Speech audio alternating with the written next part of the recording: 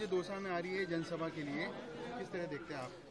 मैं तो उनको ये कहना चाहूँगी कि आप अब चुनाव आ चुका है, चुनाव शुरू हो चुका है, अब आप अपनी शक्ल दिखाने आ रही हैं राजस्थान में, जिस तरह से राजस्थान में महिला अत्याचार बढ़ा है और आप इस कांग्रेस की बहुत बड़ी महिला नेता हैं, आप पाँच साल तक कहाँ थी? एक भी इंसिडेंट जब राजस्थान में महिला अत्याचार का हुआ, क्या वो एक बार भी आई? क्या उन्होंने पीड़िता के परिवार से मिलने का मिलने का प्रयास भी किया? बिल्कुल भी नहीं। महिला अत्याचार बढ़ा है, इतना लॉ एंड ऑर्डर ज़ीरो हो चुका है राजस्थान में, तब वो क्यों नहीं दिखती हैं? रणथम्बोर में पिकनिक मनाने, छुट्टी मनाने आती हैं, लेकिन यहाँ पर जो भी इंसिडेंट होता है, महिला अत्याचार का या बलात्कार का या कुछ भी इस तरह से बहुत हो रहा है।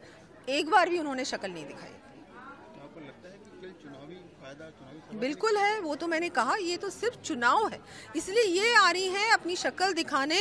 अब ये कोई भी कोई मतलब जिस तरह से ये आज आ रही हैं, ये क्या, कहाँ थी? चुनाव अब है, चुनाव शुरू हो गया, अब आप आ रही हैं। नहीं तो आपको, हम सब जानते हैं कि इन पूरे पाँच सालों में ये एक बार भी नहीं आई, कहीं पर भी कोई भी इंसिडेंट होता था, इनकी शक्ल नहीं दिखती थी। ये भारतीय जनता पार्टी ने बार बार इस बात को उठाया भी है कि प्रियंका गांधी बोलती हैं लड़की हूँ लड़ सकती हूँ। राजस्थान की लड़की क्या इंसान नहीं है? उसके परिवार के लिए आप कभी भी खड़ी हुई उनके साथ कभी भी नहीं हुई कभी न्याय दिलाने का प्रयास भी किया आपने? नहीं किया। यहाँ आपकी सरकार थी यह आपका दायित्व था। और अब आप आ रही हैं। किसी को भी मतलब शर्म आनी चाहिए इनको।